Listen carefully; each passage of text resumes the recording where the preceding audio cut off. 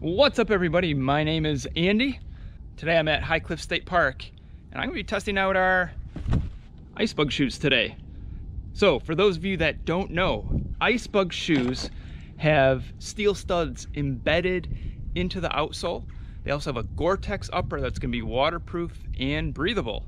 All right, trail conditions here today I think are gonna be perfect to test out the shoes. Snow and ice, a little bit of mud, Let's get these shoes on, let's go for a run. Let's see how well the Icebugs do in March conditions in Wisconsin.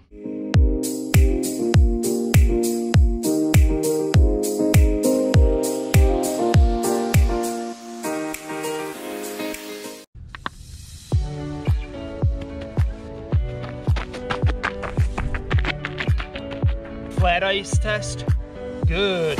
Coming up on the downhill test.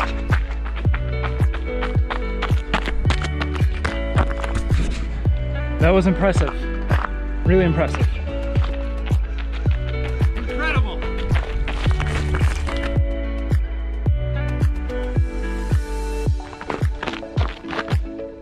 The uphill test.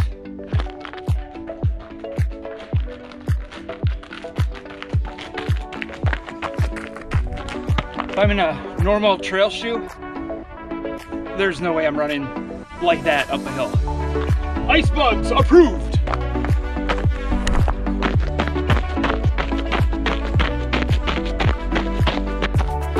Icy road test.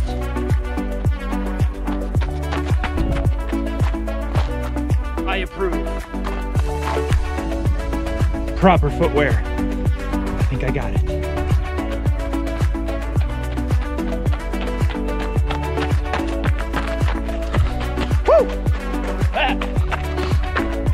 Great traction on some slick surfaces. Wow, that's the fastest I've ever run that section in conditions like that. That was awesome.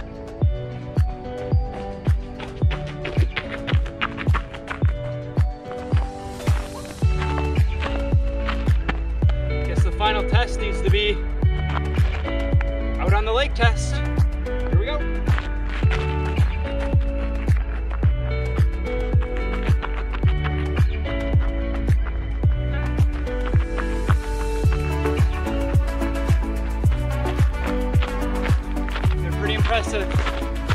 Pretty impressive. All right, finished the run. That was five and a half miles on the trails at High Cliff State Park. And the trails were maybe 80% covered with snow and ice, and Icebug shoes were really great on uh, all those areas where it was um, slick and ice covered. So I highly recommend check out the Icebugs, see what they're all about. Thank you for watching.